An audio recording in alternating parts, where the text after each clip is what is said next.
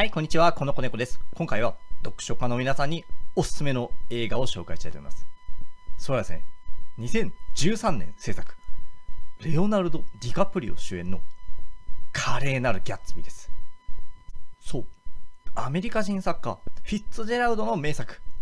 グレート・ギャッツビーの映像化作品なんですが、ほんとね、これはすごい。もう原作好きの私も大満足の出来でした。大金持ちではあるが、詳細は謎に包まれた男、ギャツビーと主人公ニックの開口。そこから明らかになるギャツビーの知られざる過去と愛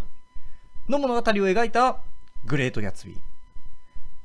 アメリカというね、資本主義の国をそのまま体現したような大豪邸ギャツビー邸。そしてそこで毎夜行われるこの世のものとは思えないような盛大なパーティーが、まあ、本作最大の魅力ですが、まあ、やっぱりね、そこって本ではなかなか伝えづらかったんですよ。が、そこで映画ですよ。まあ、大きなプール、まあ、大きな広間、色とりどりのライト、まあ、豪華な食事、まあ、そんなね、大きな空間にもかかわらず、ぎっしりとひしめき合う人、人、人。まあ、スーツにね、ドレス、まあ、ダンサーやマジシャンなどパフォーマーたちの鮮やかな衣装。まあ、そしてね、なんといっても音楽。まあパーティー会場で流れるアメリカ人作曲家ガーシュウィンによるクラシックの名曲、ラブソディン・ブルー。まあ、ディズニーのミュージカルアニメーション作品、ファンタジア2000でも取り上げられた名曲です。そしてですね、その名曲、ラブソディン・ブルーのクライマックスとともに、パーティーも最高潮に達し、そして盛大なフィナーレを迎える。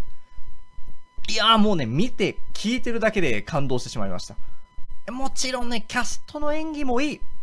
レオ様演じるギャツビーももちろんいいんですが、スパイダーマン役で知られるトビー・マクワイア演じるニックもまあね、なよなよしい感じが出ていいんですよね。原作、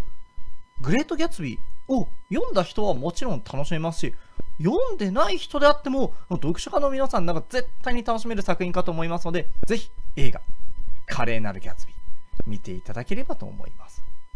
と、このようにこのチャンネルでは毎日1回、読書に関する動画を投稿していますので、気に入ってくれた方はぜひ高評価やチャンネル登録、コメントいただけると嬉しいです。ではまた明日お会いしましょう。バイバーイ。